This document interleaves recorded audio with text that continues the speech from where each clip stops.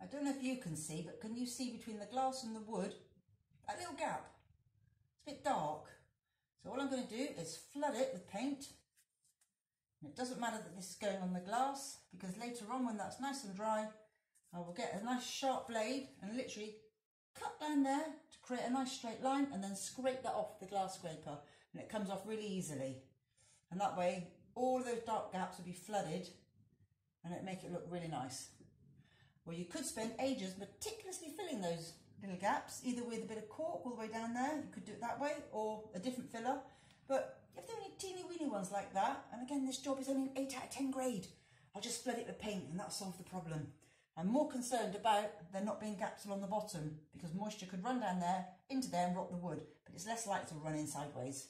So flood it and then cut a nice straight line afterwards.